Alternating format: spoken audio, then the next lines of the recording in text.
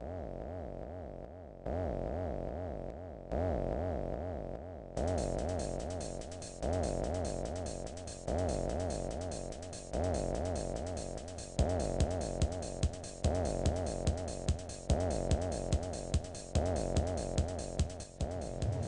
Morning, ladies and gentlemen. My name's Clifford Stone. I was a Sergeant First Class, United States Army. I had a secret clearance with nuclear surety.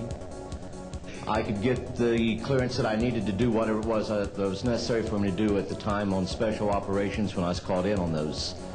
What I'm referring to here is that I was involved in situations where we actually did recoveries of crashed saucers, for lack of a better term, debris thereof. There were bodies that were involved with some of these crashes, also some were alive. While we were doing all this, we were telling the American public there was nothing to it. We were telling the world there was nothing to it. I've been involved where we have recovered these objects. We know them to be of extraterrestrials. In 1969, I had an event that happened to me while I was stationed at Fort Lee, Virginia. We went to Indiantown Gap, Pennsylvania. That would be my first exposure to any time that we would be recovering an unidentified flying object.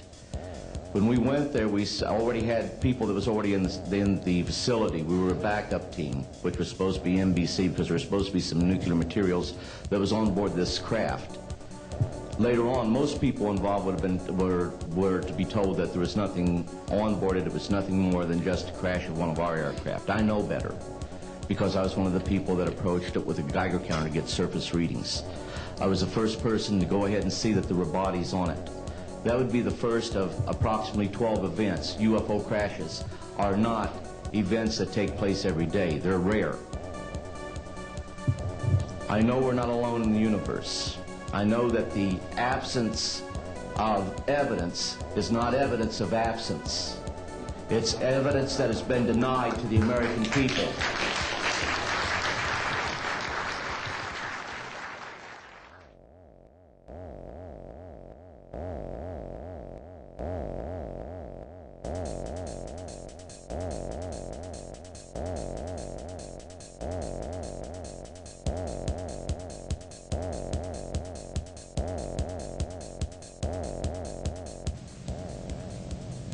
We can prove through the testimony and documents that we will be presenting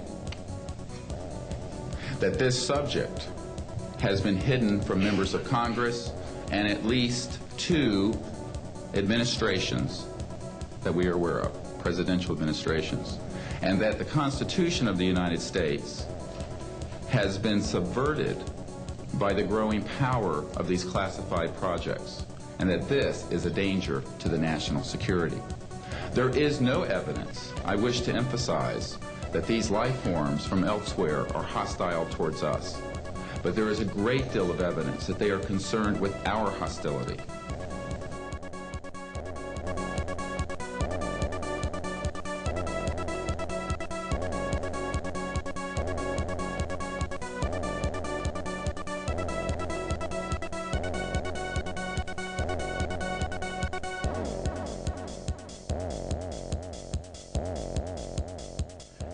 I was assigned to the 28th Air Division at Great Falls, Montana, and I was the officer in charge of the communications center there.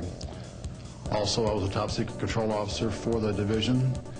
I uh, had a crypto account, I was a c- account custodian, and I also passed out nuclear launch authenticators. During that time, I can recall seeing a message come through that communications center which said, basically what Bob was just got through talking about, is that a UFO was seen near the missile silos and the missiles were deactivated.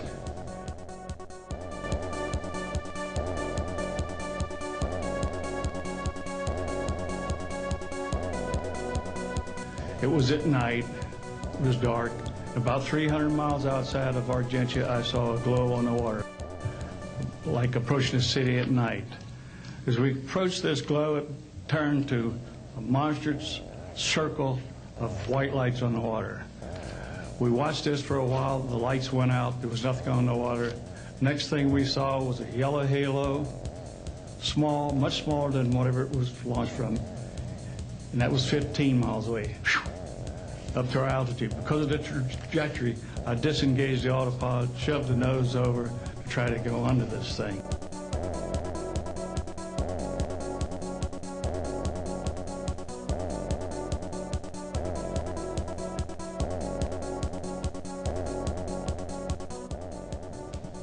So I think my, my question is actually to my question is to Clifford Stone. You, you said that you had seen aliens on a on a craft that had crashed. I wondered if you could describe what they looked like. I could. I could, but it would probably take a whole lot of time. The reason I state that, when I got out in 1989, we had cataloged 57 different species